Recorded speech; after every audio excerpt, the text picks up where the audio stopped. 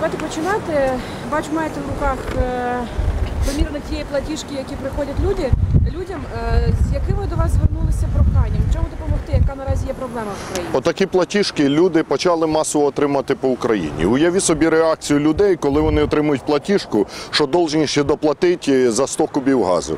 Людина економить кожну копійку, потратили гроші, щоб лічильники встановити. Розраховують, що будуть платити тільки за те, що споживають, а їм нараховують знову за газ, який вони не споживали.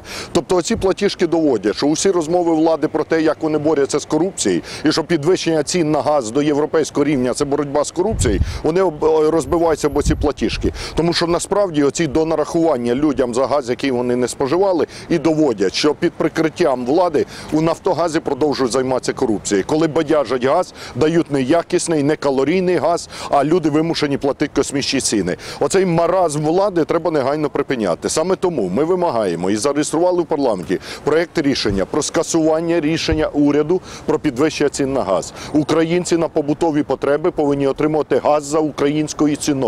Вартість його можна знизити в два рази, якщо це буде газ вітчизняного видобутку. Його вистачає на потреби житлово-комунального господарства. Друге, ми вимагаємо звільнити керівництво Нафтогазу, наглядову раду, голову Нафтогазу, які отримують космічні зарплати, мільярдні премії, а мільйони людей повинні відповідати і платити з власної кишені за їхню корупцію. Третє, усі надприбутки, які отримує Нафтогаз, спрямувати на встановлення лічильників за рахунок державного бюджету, щоб кожна людина платила стільки, скільки вона споживає, щоб не оплачували пусті фальшиві рахунки, е, оплачуючи чиюсь корупцію. І крім того, усі кошти спрямувати на енергомодернізацію і на збільшення видобутку власного газу. Це дасть можливість удвічі знизити вартість газу, а значить вартість тарифів, отримати свій газ замість імпортного газу і навести порядок, щоб не було корупції у Нафтогазі, і щоб влада під прикриттям корупції фактично не грабувала кожну українську сім'ю.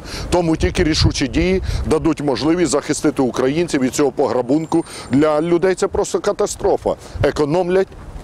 Е, е, Сплять уночі одягнуті для того, щоб менше використовувати того газу, переїжджають у літні кухні чи собачі будки, щоб не платити за газ, а е, лічильники встановлюють останні гроші тратять. А потім отримують отакі брехливі платіжки про те, що вони ще должні хто 100 кубів, хто 200 кубів. Тому що, бачите, щось там неправильно враховано.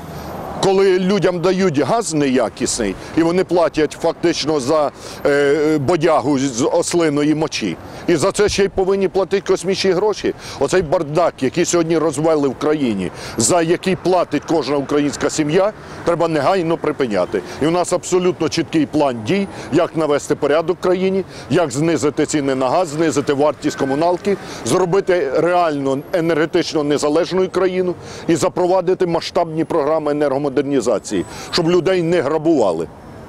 Крім того, е, крім е, вимоги про звільнення керівництва Нафтогазу, ми вимагаємо від правоохоронних органів вже зараз не дати виїхати їм за кордон, тому що вони попереводили мільярди грошей за кордон на офшори, і це очевидно сигнал, що вони хочуть утекти. Як тільки зміниться політична ситуація, як тільки ми е, почнемо наводити порядок в країні, вони намагатимуться втекти. Тому я вже зараз попереджаю правоохоронні органи, щоб вони не дали цим грабіжникам виїхати за кордон, де вони вже повиводили рахунки, попридбавали маєтки по тисячі метрів, і де вже собі гніздечка в офшорах позвивали. Я їм гніздечко дам в Лук'янівській тюрмі за те, що вони роблять. Отам їхнє гніздо буде на параші.